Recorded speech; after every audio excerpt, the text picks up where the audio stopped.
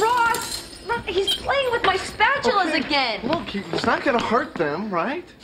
Do you always have to bring him here? Well, Look, I didn't want to leave him alone. All right, we we had our first fight this morning. I think it has to do with my working late. I said some things that I didn't mean, and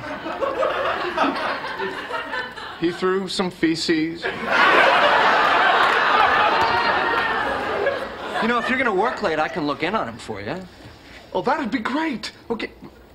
But if you do, make sure it seems like you're there to see him, okay? And you're not like doing it as a favor to me.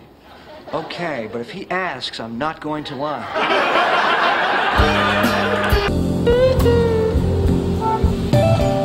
But tell me something. What does the phrase no date pact mean to you? Look, I'm sorry, okay? It's just that Chandler has somebody and Phoebe has somebody. I thought I'd ask Fun Bobby.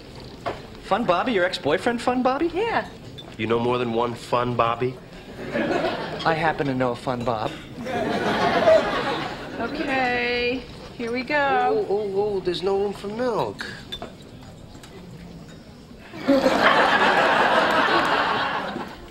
There. Now there is. Okay, so on our no date evening, three of you now are gonna have dates. Uh, four. Four. Uh, five. Five. Sorry. Paolo's catching an earlier flight. Yeah, and I met this really hot single mom at the store. What's an elf to do? Okay, so I'm gonna be the only one standing there alone when the ball drops? Oh, come on. We'll, ha- we'll have a big party, and no one will know who's with Hey, you know, this is so not what I needed right now. What's the matter? Oh, it's it's Marcel. he keeps shutting me out, you know? He's walking around all the time, dragging his hands. That's so weird. I had such a blast with him the other night. Really? Yeah, we played, we watched TV. That juggling thing is amazing. What, uh. What juggling thing?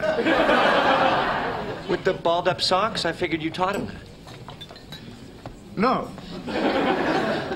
You know, it wasn't that big a deal. I mean, just balled up socks and a melon.